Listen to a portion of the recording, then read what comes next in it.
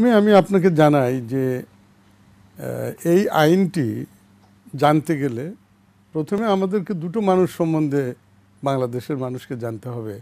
একটি হচ্ছে এই দেশের প্রধানমন্ত্রী শেখ হাসিনা এবং তার তনয়া তার কন্যা সাইমা ওয়াজেদ হোসেন।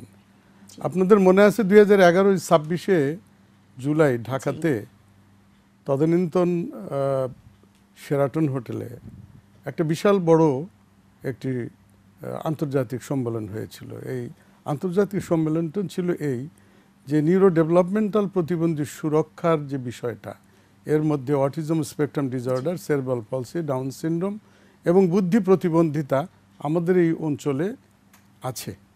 এবং এই মানুষগুলো কিন্তু আগে কখনো এত আকৃষ্ট করেনি জনগণকে বা মানুষকে।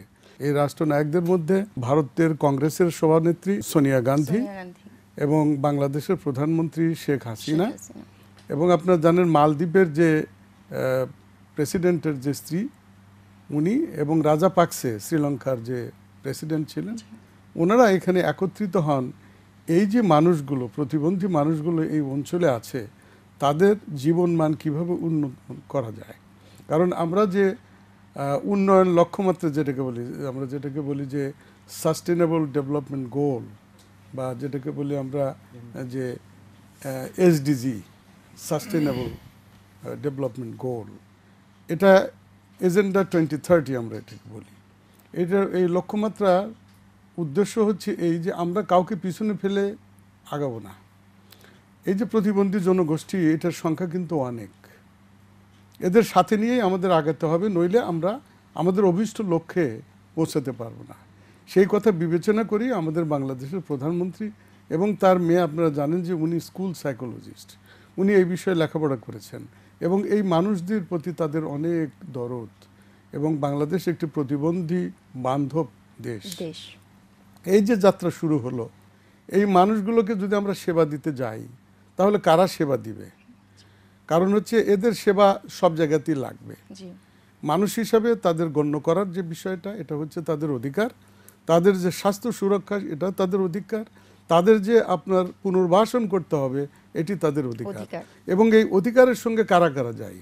এই অধিকারের সঙ্গে চিকিৎসক দায়ী এবং এর সঙ্গে সেবার দেওয়ার জন্য আরও অন্যান্য যে সেবার সঙ্গে যারা যুক্ত আছেন যেমন আমার পাশে আছেন শামীম সাহেব উনি অকুপেশন থেরাপিস্ট তার পাশে আসেন যিনি উনি এই বিষয়ে বিশেষজ্ঞ উনি ছাত্রদের পড়ান। এছাড়াও আপনারা জানেন যে ফিজিওথেরাপি নামে একটি সাবজেক্ট আছে স্পিচ অ্যান্ড ল্যাঙ্গুয়েজ বা যারা কথা বলতে পারে না এই ধরনের মানুষগুলো জড়িত আছেন। তো এই যে যাদের দ্বারা আমরা এই মানুষগুলোর প্রতিবন্ধিতাকে আমরা সক্ষম করে তুলব এরা কেউ আছেন কিছু অক্ষম কিছু আছেন মাঝারি অক্ষম কিছু আছেন পুরোপুরি অক্ষম। তাদের জন্য আমাদের কিছু জিনিস লাগে। যেমন এদের জন্য কথা বলার জন্য, এদের চলার জন্য, এদের সময়কে অকুপাই করার জন্য এবং এদের নিজের যে আবেগ এবং অনুভূতি এগুলো প্রকাশ করার জন্য তাদের অভিব্যক্তির যে প্রয়োজন। সর্বোপরি তাদেরকে আমাদের সমাজে কাজে লাগাতে হবে এবং তাদের কর্মক্ষম করতে হবে। এই যে বিশাল একটি কর্মযজ্ঞ, এই কর্মযজ্ঞের সঙ্গে রাষ্ট্র এদেরকে সম্পৃক্ত করতে চায়। তার জন্য যে মানুষগুলো দায়ী তাদেরকে আমরা বলি রিহ্যাবিলিটেশন থেরাপিস্ট এবং রিহ্যাবিলিটেশনের সঙ্গে যুক্ত করে বুঝিয়ে দিয়েছেন বাংলাদেশ রিহ্যাবিলিটেশন এই যে যারা এরা কিন্তু অশিক্ষিত লোক না এরা সুশিক্ষিত প্রশিক্ষিত। তাদের যে ডিগ্রি এগুলো নিয়ে এরা প্র্যাকটিস করবে কিংবা এই মানুষগুলো যে সেবা করবে তাদের এই যে ডিগ্রি ডিপ্লোমা এবং তারা কতটুকু কার জন্য কি করবে কার কি দায়িত্ব এই নির্ধারণ করার জন্য যে আইন এবং এই আইনের যে প্রয়োগ এবং সেই আইনের যে ব্যবহার এটাই বাংলাদেশ রিহ্যাবিলিটেশন কাউন্সিলের কাজ। কাউন্সিল